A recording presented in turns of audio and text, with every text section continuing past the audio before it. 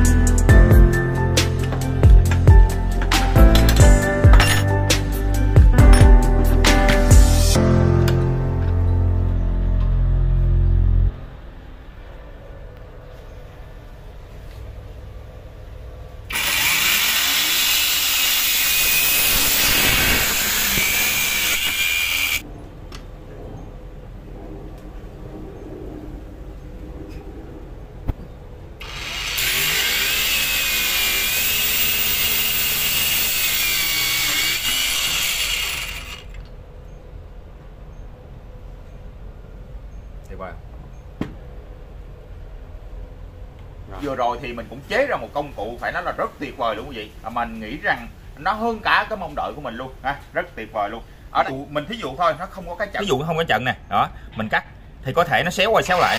Đó, hoặc nó chạy vô đó còn ở đây á, mình có một cây trận rồi thì cái cây trận này nè là cái cỡ cái chuẩn của mình luôn. Khi đưa vô nó ôm vô trong đây đó, nó, nó cặp vô trong đây. Cạnh này thì nó cặp vô đây cạnh này nó cặp trên. Đó thì khi mình cắt á nó vừa vuông góc và nó chuẩn luôn và nó không chạy được vô máy tông luôn. Khi mình cắt mình dở cái này hả đó. Mình thiết kế ở đây nè có độ chỉnh. Có nghĩa là chúng ta có thể chỉnh qua chỉnh lại hoặc chỉnh tới chỉnh lui. À, sau khi đó chúng ta định cố định những con ốc này cứng là được. Chỉnh làm sao cho nó vuông góc với viên đá. Thì lúc thì lúc đó ta cặp sắt như thế này. Miễn nó ăn vô cạnh này là nó vuông thôi. Bây giờ mình cầm vậy mình cắt cho quý vị xem luôn.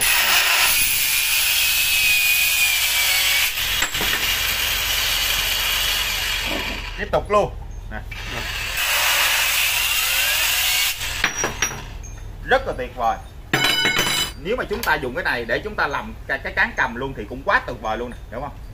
Cái này là mình phát minh ra mình chế cái đầu tiên thôi cho nó chưa được hoàn thiện lắm. Nghĩ rằng những cái sau thì nó sẽ hoàn thiện hơn. Mình nghĩ cái này nó tiện lợi như cái những công việc mà vừa rồi ha. Và điều đặc biệt. Mình sản xuất cái khung này đang xài cái máy một tấc nhưng mà cái khung này cũng có thể gắn cho máy một tấc hai luôn vừa dặn luôn.